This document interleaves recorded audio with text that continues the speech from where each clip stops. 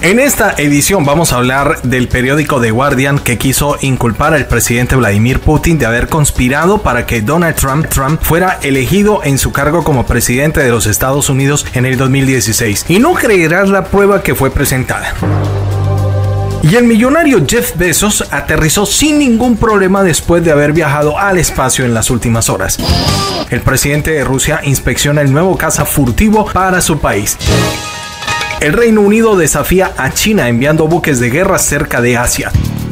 Si te interesa esta información, te invito a que te quedes hasta el final del video y si crees que es de valor este contenido, nos apoyes compartiendo este video y le des like al contenido y nos dejes un comentario en la cajita de respuestas. Muchas gracias por el apoyo. Avance informativo de último minuto. Señoras y señores, bienvenidos una vez más a nuestro segmento informativo y de antemano muchas gracias por los minutos que usted dedica para ver nuestros informes a diario. Hoy les vamos a contar la nueva narrativa que se está utilizando desde el Reino Unido para implicar al presidente de Rusia en una supuesta conspiración y de haber estado involucrado en la elección del presidente Donald Trump en el año 2016. Y no vas a creer cuál fue la prueba que presentó el periódico prestigioso de los Estados Unidos, The Guardian, para promover esta narrativa que quiere desprestigiar tanto a Putin como al expresidente Donald Trump. Según las pruebas presentadas por el diario londinense, presentaron pruebas con un código que fue expuesto como 32.0 BD y llama mucho la atención que la presunta prueba para enlodar a Donald Trump y a Vladimir Putin es un papel impreso como prueba y con una narrativa en ruso. Y esto por supuesto que ha causado críticas al diario digital en Gran Bretaña porque según los expertos esa no es una prueba contundente para exponer al público y calumniar tanto al presidente Putin y al expresidente Donald Trump,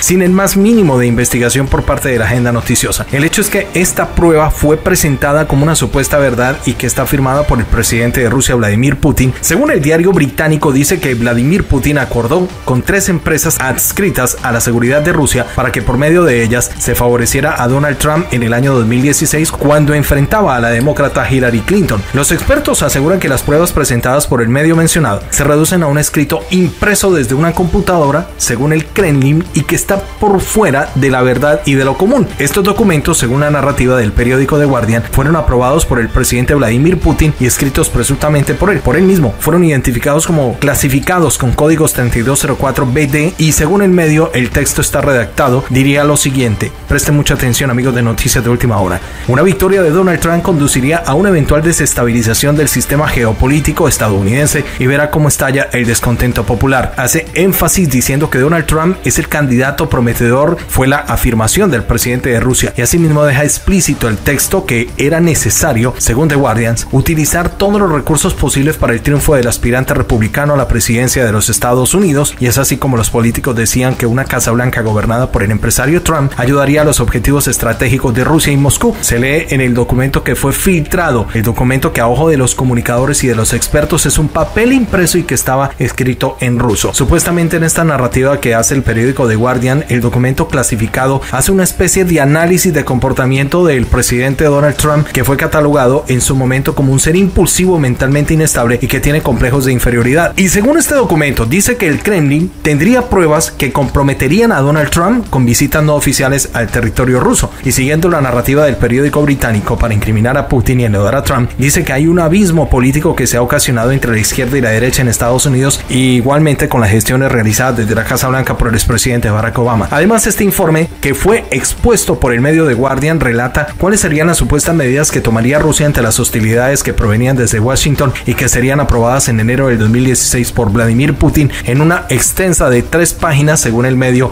londinense. Dos días después de ser aprobado el presidente Putin habría dado instrucciones a su jefe de dirección política del exterior según el comunicado, identificado como Alexander Manchosi, y de paso se convocaría a una reunión a puerta cerrada de todo el Consejo de Seguridad, según el artículo fabricado por el medio londinense. Pero hay mucho más detrás de este informe, que se lo vamos a contar a ustedes, amigos de Noticias de Última Hora, y usted sacará sus propias conclusiones. En este informe se detallan algunos de los apartes de ciberataques en contra de la aspirante demócrata por parte de la diplomacia rusa. Se desestimaron estos señalamientos, mas sin embargo el portavoz del Kremlin, Dmitry Peskov, aseveró que las pruebas de esta reunión entre Putin y Donald Trump fueron ciertas, mas sí fue pública y no tendría por qué esconderse en temas tan calumniosos y delicados como el que está exponiendo el periódico británico, dijo el funcionario de Rusia. Los expertos han rechazado tajantemente esta información presentada por el periódico The Guardian, el hecho de haber presentado esta noticia sin pruebas contundentes. Peskov desde Rusia dio a entender que esta nota devela la nueva forma de atraer lectores por parte del diario a costa de fabricar noticias no verdaderas sin sus respectivos soportes. ¿Y tú que has llegado aquí hasta este punto del video, qué opinas de esta nota? Queremos leerte en la cajita de respuestas. ¿Qué piensas que hay detrás de todo este entramado donde quieren enlodar al presidente de su momento Donald Trump y al presidente de Rusia Vladimir Putin? Por favor, muchas gracias por seguirnos.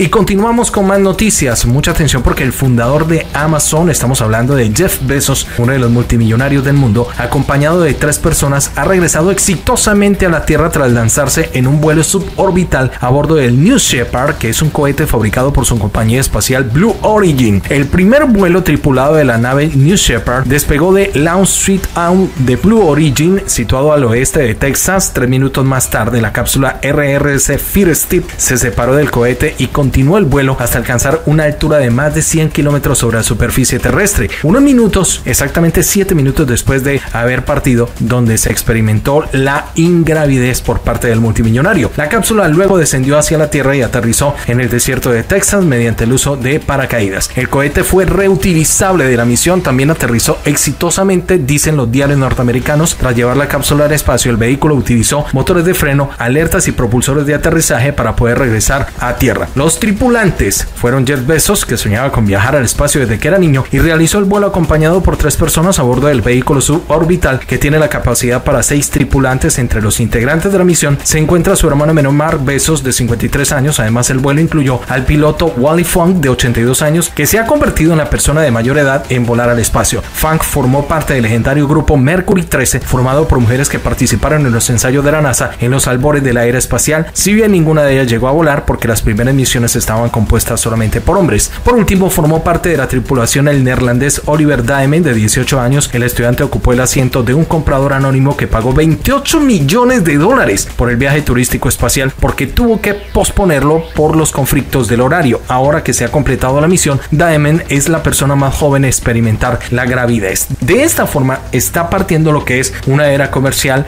con los viajes al espacio. El del New Shepard es el segundo vuelo suborbital de un multimillonario en apenas 10 días. El pasado 11 de julio, recordemos que el empresario Richard Branson alcanzó una altitud de 85 kilómetros a bordo de su avión Unity de Virgin Galactic. Tras la misión exitosa de Blue Origin, las acciones de Virgin Galactic han experimentado un descenso del 4%. La empresa de Besos planea proceder a la comercialización de su programa enviando al espacio a voluntarios que decidan contemplar la Tierra desde otra perspectiva. En cuanto al precio del billete, no se ha precisado cuánto suma exactamente la cifra, por lo cual se pueda ir al aunque se estima que su costo asciende a unos cientos de miles de dólares. Ponte al día con la información. De otra parte, ya para cerrar esta información, mucha atención porque Vladimir Putin inspecciona el modelo del nuevo caza táctico ligero ruso que muy pronto entrará en servicio para el Ministerio de la Defensa de este país. El presidente ruso Vladimir Putin examinó el modelo del nuevo caza táctico ligero monomotor ruso durante su visita al Salón Internacional de la Aviación y al Espacio MAX 2021. Se han implementado algoritmos de apoyo basados en la inteligencia artificial, lo que libera al piloto de operaciones rutinarias que podrían concentrarse en tareas principales. Estas fueron las palabras de Yuri Liusar, jefe de la United Aircraft Corporation, quien presentó la casa, quien presentó el caza en el pabellón de los Sukhoi en Rusia. Agregó la funcionaria que la arquitectura que está compuesta por el fuselaje permite hacer una versión no tripulada o biplaza de la unidad principal sin modificar el avión. Este caza se diferencia de sus predecesores por las opciones, por ejemplo, como la adaptación, se dice que las necesidades de un cliente concreto, bajo costo de explotación y las amplias capacidades que tiene ese avión en el combate, señaló. También aclaró Rostec que el caza ligero se llama Checkmate y todavía no hay ningún avión similar en Rusia ni en el mundo. Incluso combina soluciones y tecnologías innovadoras, incluido el apoyo al trabajo del piloto mediante la inteligencia artificial, así como soluciones probadas, dijo la corporación estatal. El nuevo caza de Rusia de quinta generación tiene baja visibilidad y altas características de vuelo. Aquí está la información más importante de las últimas horas. De otro lado, mucha atención, el Reino Unido desplegará dos buques de guerra en Asia de manera permanente para desalentar supuestamente las ambiciones territoriales que tiene Xi Jinping. No tendrán una base fija y navegarán por aguas internacionales sobre las que el régimen de Beijing pretende tener derechos. El portaaviones Queen Elizabeth y sus barcos escoltas harán escalas en puertos estadounidenses y japoneses. El Reino Unido anunció este martes que va a desplegar de forma permanente dos buques de guerra en aguas asiáticas después de que sus portaaviones Queen Elizabeth y sus barcos de escoltas zarparan hacia Japón en septiembre a través de mares donde China compite por la influencia con Estados Unidos. Los planes para la visita de alto perfil del grupo de ataque del portaaviones se producen cuando Londres profundiza los lazos de seguridad con Tokio, que ha expresado una creciente alarma en los últimos meses por las ambiciones territoriales de China en la región, incluido Taiwán. Tras el despliegue inaugural del grupo de ataque, el Reino Unido asignará permanentemente dos barcos en la región a partir de finales de este año. Fueron las palabras del ministro de Defensa británico Ben Wallace en una información en conjunto con Tokio, con su homólogo japonés, el funcionario Nobuo Kishi, el secretario de Defensa de Gran Bretaña Ben Wallace y el primer ministro de Japón Yoshihide Suga y el ministro de la Defensa Nobuo Kishi asistieron a la reunión en la residencia oficial del primer ministro de Tokio este 20 de julio. Después de su llegada a Japón, dijo Kishi, el Queen Elizabeth y sus barcos de escolta se dividirán para hacer escalas en puertos separados a bases navales estadounidenses y japonesas a lo largo del archipiélago. Un aliado cercano de Estados Unidos, Japón alberga la mayor concentración de fuerzas militares estadounidenses, incluidos barcos, aviones y miles de infantes de la Marina. El portaaviones británico que lleva unidades furtivas F-35 en su viaje inaugural atracará en Yosuka, el hogar del mando de la flota de Japón y el USS Ronald Reagan, el portaaviones estadounidenses. Los barcos británicos no tendrán base permanente, dijo el portavoz de la Embajada Británica de Tokio y se le preguntó hacia los puertos que operarían los barcos del Royal Navy. El Queen Elizabeth estará escoltado por los destructores de dos fragatas, dos buques de apoyo y barcos de Estados Unidos y Países Bajos. Llegarán a Japón a través del mar de China, parte de los cuales son reclamadas por Xi Jinping y los países del sudeste asiático, con escalas en India, Singapur y Corea del Sur. Es una señal más clara del reciente compromiso de Gran Bretaña, dijo Wallace, quien viajó a Japón con una delegación de comandantes militares que dijeron que Gran Bretaña también va a desplegar eventualmente el grupo de respuesta litoral, una unidad de Marines entrenados para llevar a cabo misiones que incluyen evacuaciones y operaciones antiterroristas, aseguró el funcionario británico. Se está poniendo tensa las cosas así con el Reino Unido que quiere hacer lo mismo que está haciendo Estados Unidos poniéndole los buques de guerra cerca de las fronteras de Rusia. Entonces estaremos muy pendientes de esta información. Les agradecemos a todos ustedes que nos dejen los comentarios que opinan de estas noticias en la cajita de respuestas. Si es nuevo en el canal, lo invitamos a que se suscriba y active la campanita roja de notificaciones. Nos dejan su comentario y si creen que este contenido tiene un alto valor, por favor nos acompaña con un like. Dios los bendiga, nos escuchamos en el próximo video. Un abrazo para todos.